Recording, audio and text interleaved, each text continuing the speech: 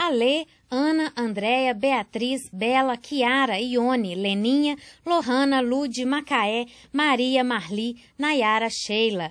Elas ainda são poucas, só 19,5% das 77 cadeiras do Parlamento Mineiro. Mas elas já chegam à Assembleia em destaque. Elegemos a deputada mais jovem do país. Aos 20 anos, Chiara Biondini vai ter que esperar um pouco para tomar posse. Só em fevereiro, a estudante de administração vai atingir a idade mínima de 21 anos exigida para assumir o cargo.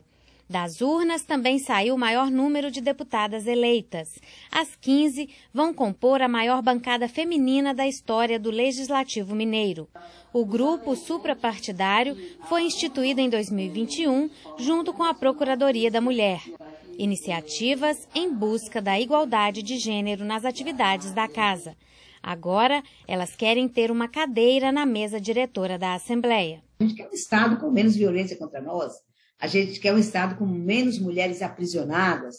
Queremos um Estado que cuide da saúde da mulher, da renda, para a gente sair dessa relação de subalternidade com os homens que ainda temem em nos né, agredir, nos violentar. Representantes de quase todas as regiões do Estado, as deputadas eleitas receberam mais de um milhão dos votos válidos no primeiro turno das eleições deste ano.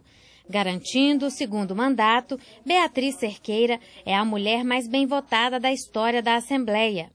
Os 248.664 votos deram a ela o terceiro lugar no pódio dos deputados mais votados desde que o Parlamento Mineiro começou a funcionar. Sempre tentam dar uma, um caráter de mérito individual, não é?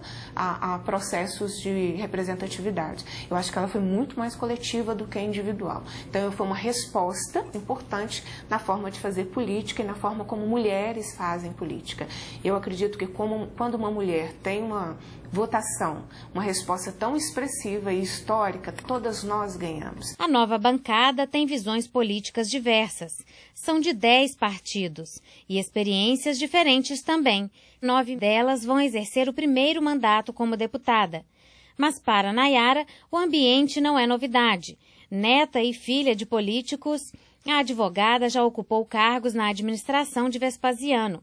Aqui na Assembleia, Nayara será mais uma força para enfrentar os desafios comuns às novas colegas. Eu vou trabalhar arduamente dentro da Assembleia para ser essa força, né, para que as pessoas vejam, como exemplo mesmo, que as mulheres elas têm muita capacidade de estar em qualquer lugar, aonde elas quiserem. Eu espero ser aí essa deputada que atinja principalmente esse público feminino para trazer ainda mais engajamento para as mulheres dentro da política.